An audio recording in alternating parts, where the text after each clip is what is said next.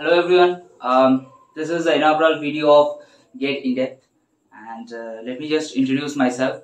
I am Tathagata Dey and I am All India rank 21 of Gate Computer Science 2022 examination and um, me with my friend, uh, another fellow ranker, Akash Mondal, All India rank 52 of Gate Computer Science 2022. Together we are going to start this forum, this community named as Gate in Depth to understand and to uh, uh, learn a few things together about computer science, about uh, mathematics and discrete mathematics and all.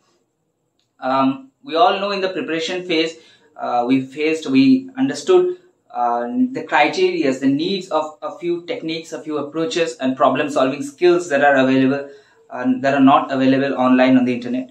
Um, there are lectures, there are concepts and teaching materials, but different approaches. Solving one numerical with many other techniques with uh, underlying concepts is very important and what we felt in our preparation phase.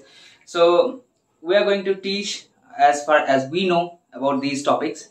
And um, let me just say you why we chose the name gate in depth. Because um, we know that gate examination that is a competitive examination is mostly a breadth first examination.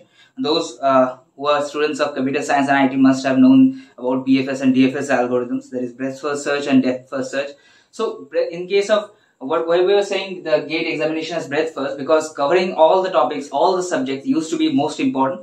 Um, I'm saying used to be because in recent years the pattern is changing, the concepts are changing. Now the question paper is more of uh, depth first and also our experience in studying and learning a subject has been always been about depth we understand a subject from base about deep concepts. So this is very important as i feel when you are approaching higher studies and higher mathematical uh, concepts. So this is the same way we're going to be um, teaching or learning or whatever you may say we're going to be in this uh, forum.